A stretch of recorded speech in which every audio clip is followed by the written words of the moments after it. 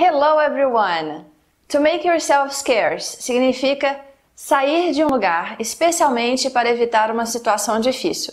Sumir, desaparecer e dar uma voltinha. Sair da frente. Listen and repeat. Papai está realmente zangado com você, então é melhor você ir dar uma voltinha.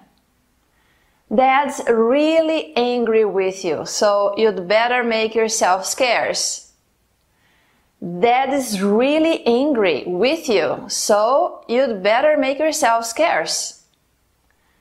Lisa está irritada com sua mensagem de texto, então é melhor você sumir até ela se acalmar.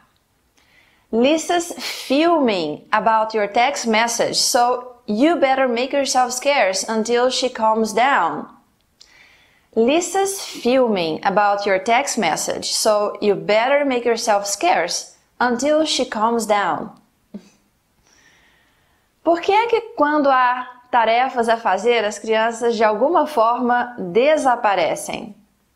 Why is it that when there are chores to do, the kids somehow know to make themselves scarce? Why is it that when there are chores to do, the kids somehow know to make themselves scarce?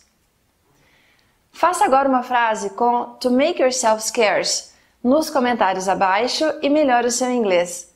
Siga o Melhore Seu Inglês no Facebook, no Instagram, no YouTube e procure pelo podcast Melhore Seu Inglês no seu aplicativo para ouvir podcasts para aulas particulares de inglês por Skype ou por WhatsApp, individuais, personalizadas, focadas em conversação e para todos os níveis. Basta entrar em contato comigo ou com o professor Newton. Um grande abraço and see you next class!